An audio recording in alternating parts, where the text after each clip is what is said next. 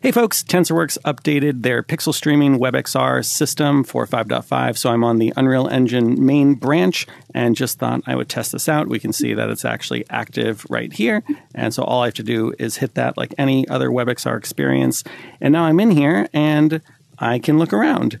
And this is an improvement over what they had before because I actually have um, input. You know, I can reach forward and uh, grab things and toss them around, kind of. Although it seems like gravity's off.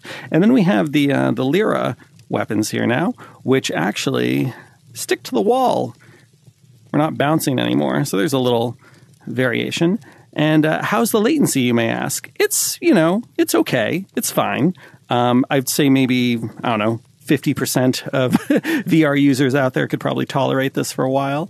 Um, but the you know a most amazing thing about this, of course, is it's all happening in a browser. So this just bypasses all gatekeepers. And I could be doing this from an Apple Vision Pro, from a Vive Focus, from a Pico, and it would literally just be, you know, running from the same computer uh, using these OpenXR controls. And that's pretty great. So thanks, TensorWorks, making the world uh, a happier place. If I go ahead and quit, we can see actually a little bit of what's happening with the left and the right eye. So, yeah, progress.